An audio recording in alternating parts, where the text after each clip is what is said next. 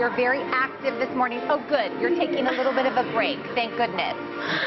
Yes, ladies, I could not make it the past like 15 minutes still cycling. I had to take a little break here. We have our girl Kelly here. We are at Resistance Cycle here in Harbor East. Kelly, babes supporting babes. Just tell us what that means. Yeah, basically we wanted to do something for Women's International Month, so we are welcoming any woman that's never taken a class here with us to come in for free and check it out. And then we have all kinds of different businesses, um, just side hustles that are women owned, and then we're featuring them, and we want to bring all the good to this area and support each other. I love it. And you actually have a class. I don't know if you guys can hear ladies back there, but a class is underway. It's a free class right now, right? Yes, we're offering a free ride here and there all week.